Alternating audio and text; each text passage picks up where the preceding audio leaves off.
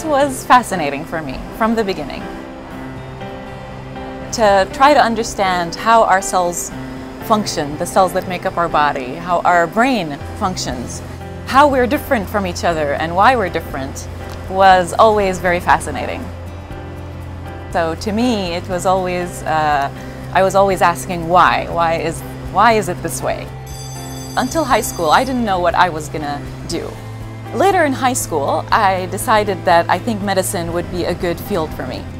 I went to medical school. We had to understand the anatomy of our bodies and what makes up every organ and every part of our body, such as the brain and the heart and the skeleton.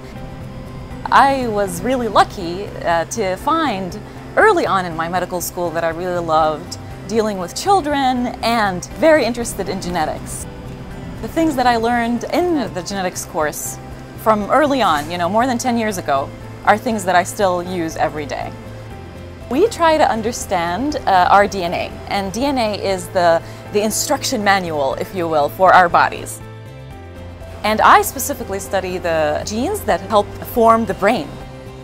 And the brain is the most fascinating organ, if you ask me, of the body.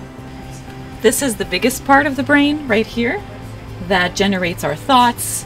It's responsible for our senses, for our imagination.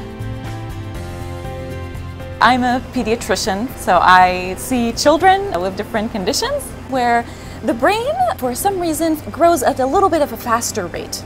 So it gets to be slightly larger than normal for some individuals.